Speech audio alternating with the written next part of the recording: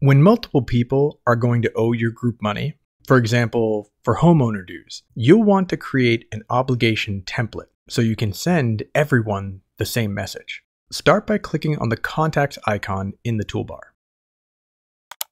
Then, click Obligation Templates from the tabs. Next, click on Add Obligation Template.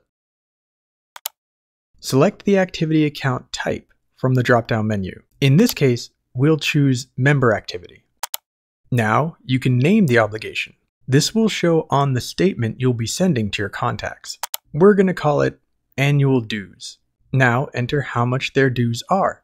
For our tutorial homeowners, their dues are $200 a year. The due date is the date you want this obligation to start. Remember that this obligation will not show on the statement until the start date. So if you set a due date of June 1st, it will not show up before June 1st. You can also set your obligation to repeat if you have monthly dues. Now, click Save.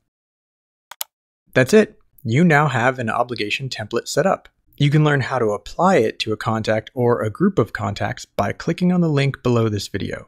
To get more help on this or other topics, subscribe to our YouTube channel for more videos, or visit our help center by clicking on the links in the description below. Thanks for watching, and thanks for choosing MoneyMinder.